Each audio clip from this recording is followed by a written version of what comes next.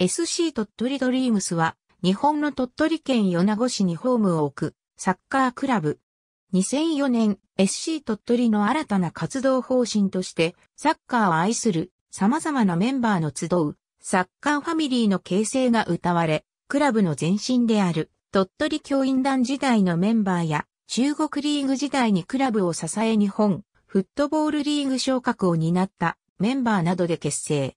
その後、プロ化してガイナーレ鳥取となった際にチームを退団した選手が相次いで加入した。そのため、チームカラーはガイナーレのものではなく、QSC 鳥取の濃い緑となっている。この経緯から、ガイナーレの OB チームと称されることが多い。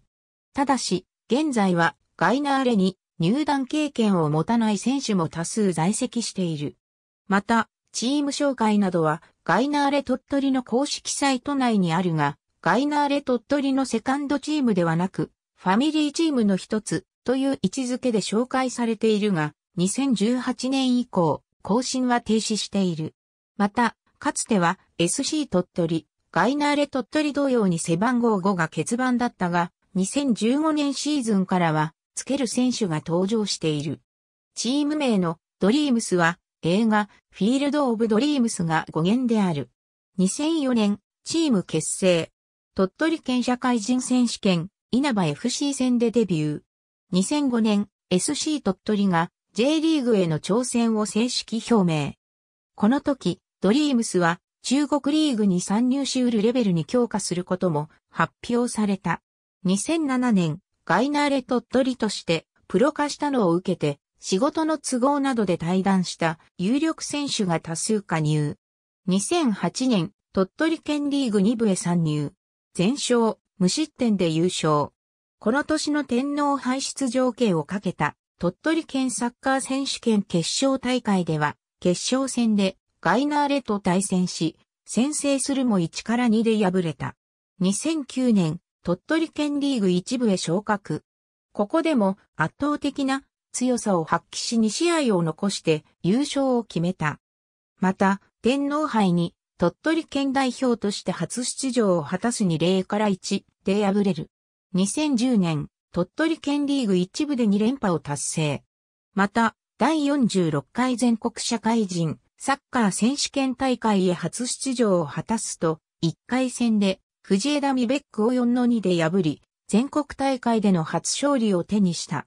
2011年より NPO 法人山積スポーツクラブが運営主体となり、ユニフォームの胸部分に初めてスポンサーがついた。最終節での元気 SC との対決を制し、逆転で鳥取県リーグ1部で3連覇を達成。続く中国地域圏リーグ決勝大会でも圧勝し、翌年からの中国リーグ昇格を決めた。鳥取県リーグ参入後、リーグ戦では一度も負けることなく、中国リーグへと昇格しており、前日の中国リーグに参入し得るレベルに強化するとした目標も現実となった。2012年は元ガイナーレ鳥取で地元出身選手でもある鎌田慶吾をはじめ多数の選手が入団。さらにガイナーレ鳥取に在籍していた西尾亮が登録変更に伴い入団。中国リーグ参戦に備えた体制の強化を図ったが、リーグ戦初勝利は遠く、ようやくシーズン終盤となった9月になって、ホーム最終戦にて初勝利を挙げたが、それまでので遅れが響いた形となり、リーグ最終戦も黒星となりわずか1シーズンで鳥取県リーグ一部に降格することになった。鳥取県リーグに戻って、以後は2013年2014年の2シーズン続けて優勝はしているが、2014年には、県リーグにおいて、初めて敗北を喫している。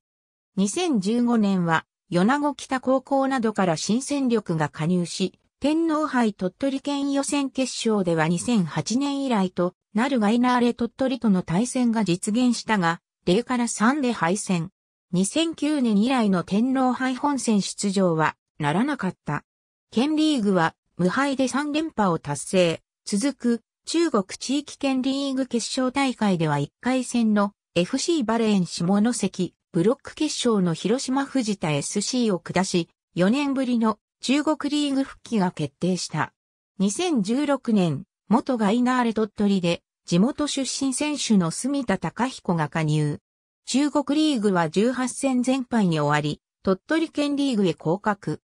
このシーズンは全国社会人サッカー選手権大会の予選で PK 戦による一勝を挙げたのみであった。